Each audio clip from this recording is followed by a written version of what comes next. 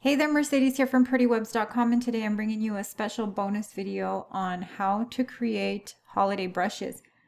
I put out a video a couple of weeks ago where I show you how to use these brushes. So today I'm giving you all of the stuff that you didn't get in that other video and that was all the basics of the brushes that were used to create all the designs in that video. If you're interested in watching that video, I'll go ahead and leave a link here so that you can check that out as well. So let's go ahead and get started. The first brush that we're going to be making is going to be the snowflake brush. I'm going to be using this one right here, the rounded rectangle tool.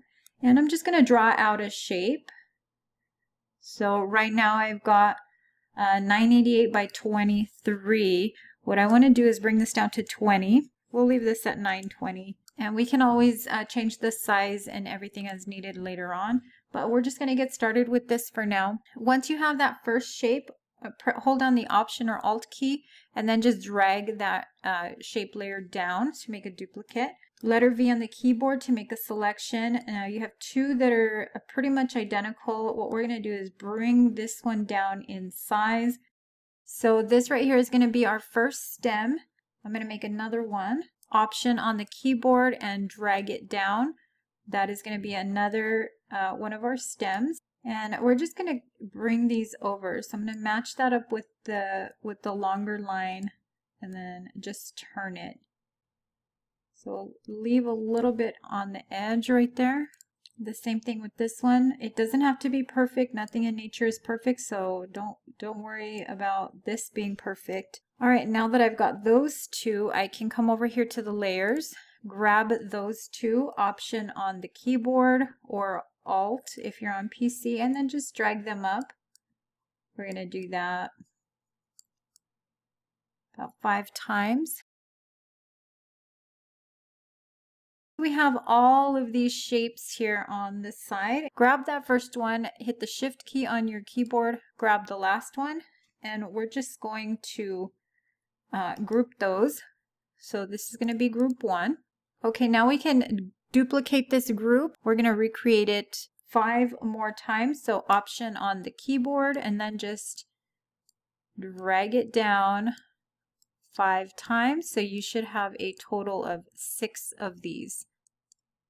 Okay, so you'll have group one and then several copies of that same group. Now we're just going to grab uh, this one right here and we're going to turn it. So we're going to move on to the next one and we'll um, do the same thing with this one. And I'm going to go through and just move each one of these groups into shape. So I'm going to fast forward through this part, but basically all you want to do is make sure that you have some overlap here at the bottom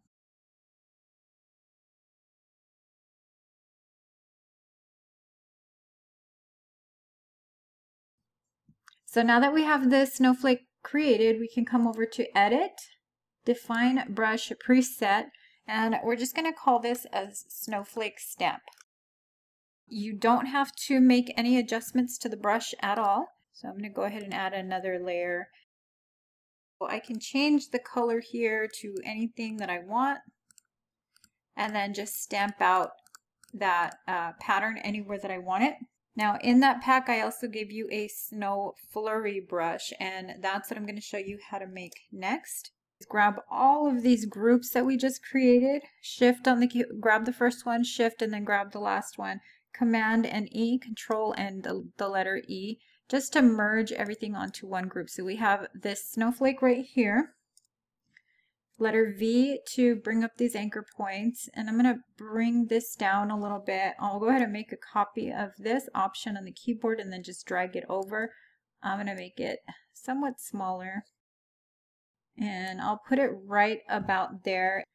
Okay, so with these two shapes in place, we're going to come back up to Edit, Define Brush Preset, and this one is going to be called the Flurry what I want to do with this brush is create some dimension. So we're going to have some of the snowflakes kind of drifting in and out, lighter colors, darker colors, and just, it's going to be much more random than just the stamp brush. So let's go ahead and go over to our, our uh, brush settings here and go over how we want these to look for this brush.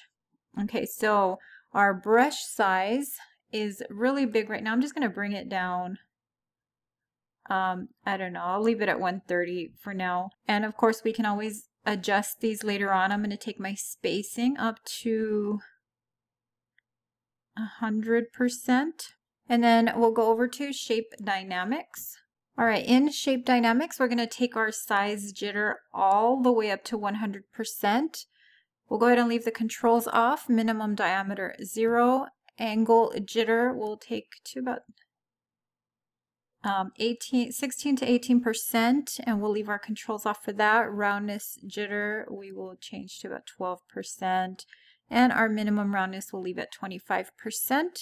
So everything else is fine there. We're going to check off scattering.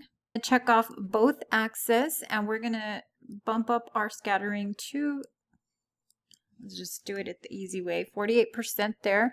And we'll change our count to 3 our count jitter. We'll leave it zero and our control off for that. All right, next thing is going to be the transfer. Under transfer, we are going to change our opacity to 100%. Our control is going to be off. Jitter flow 0% and everything else is fine. I'm going to go ahead and leave smoothing checked off. And uh, that's it for this brush. We can save this as a new brush preset if we like bring this back over here and I'm gonna add a new layer just so that we can test this out a little bit. So I'm going to bring up the size so that you can see it and I'm going to turn these two layers off. So basically what we did was just create some kind of dimension with this. This time I'm going to show you how to make that pine brush. What I'm going to do is use this ellipse tool and we're going to make a very skinny, tall pine needle. We're going to duplicate this about nine more times. So I'm going to hold down my option key and just keep duplicating this. Okay, so we're going to start with our uh, base right here. I'm going to bring this over to this side. We just want to join these. Okay, so that's the first one. We'll do the next one exactly the same.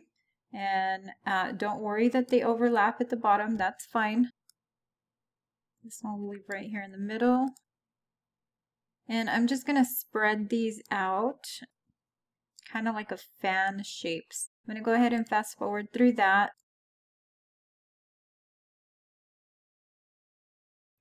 All right, so what you're gonna have is something like this. If you wanna add more, you can definitely do that just to add a little bit uh, of thickness to this. I'm going to go ahead and leave it as it is. And you can also make these needles, some of them, you know, stagger them a little bit, make some of them uh, shorter, taller. It's really up to you. This is how I created mine. So I'm going to come up to edit, define brush preset, and I'm just going to call this pine. All right, so once we have that pine brush, I can go ahead and I'm just going to leave these uh, in a group and turn them off just in case we want to change them later on. I'm going to add a new layer up here. And I have my brush. Now we just need to make a few changes to it. So we're going to come over to the brush settings.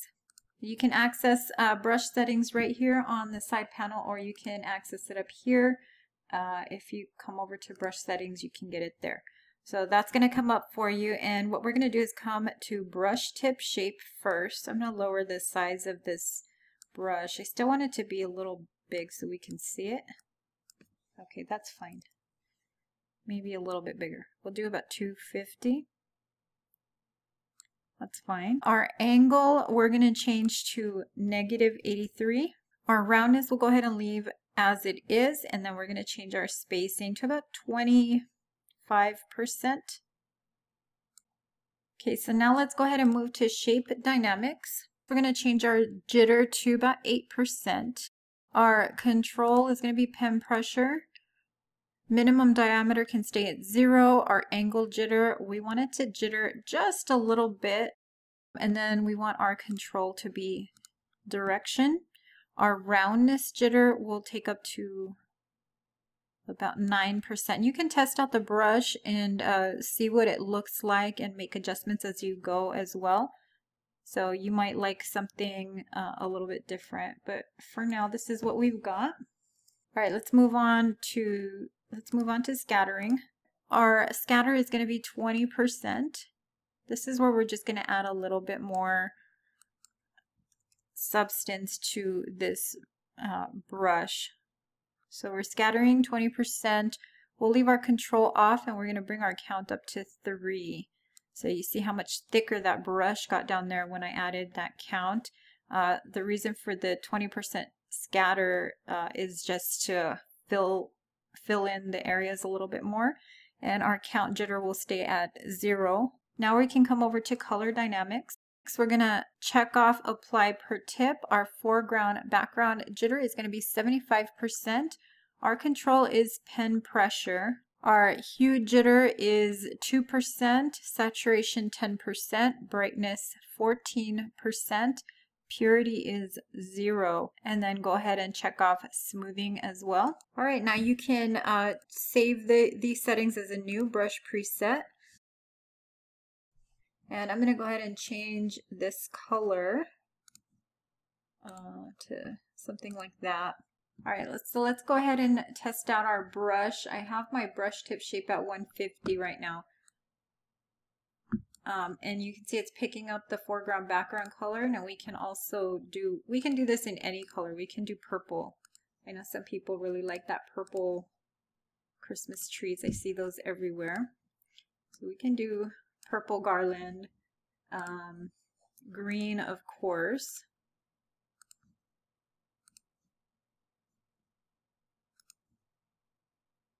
And what we're trying to do is just get colors that are similar, you know, one light, one dark. And there you go, you have uh, the garland brush. And now we'll go ahead and show you how to create that bulb brush as well. So I'm going to come back over here to the shapes tool and uh, I'm going to choose that ellipse tool again. I'm going to make another oval, something about there. So roughly half the width of the height.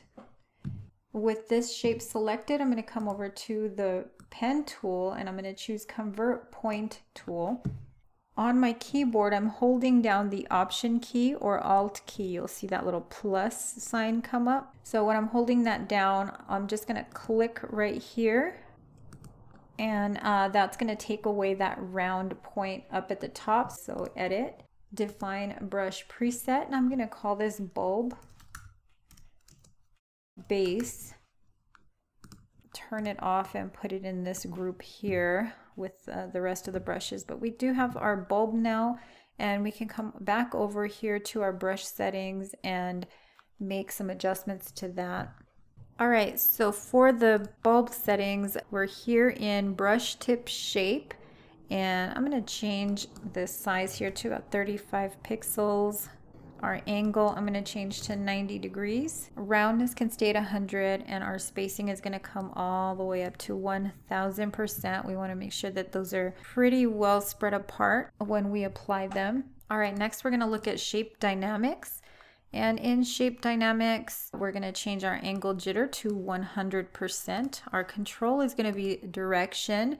Our roundness will take up to 30.